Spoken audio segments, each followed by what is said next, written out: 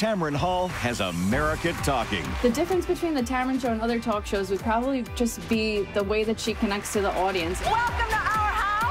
She doesn't seem scripted. She seems like a very real person. This is our show. I really like the variety of the stories. There's something for everyone. Today we're kicking off Throwback Week Fashion Designer Series. Love and Relationship Week. We are tackling it all. She talks about real issues that millions of people go through every day and let people know that they're not alone. How long had he been dealing with the addiction? Over 20 years.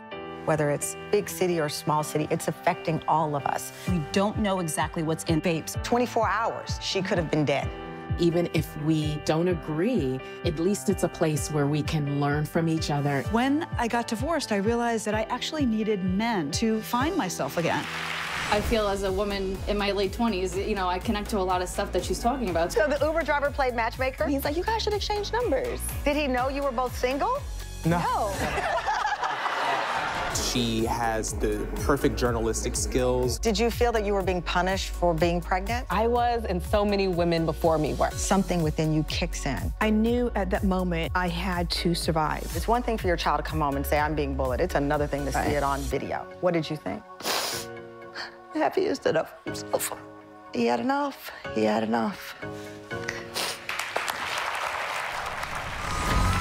Even her celebrity guests, you see a different side of them, a little bit more of a vulnerable side of their story. I tell people, just hold on in it because the other side of it is so much better. What got you through when I finally got help with depression?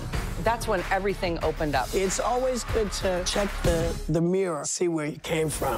When I'm watching Tamron's show, I'm learning, I'm laughing, I'm being challenged, and then it's also fun. Moses is dressed like Moses.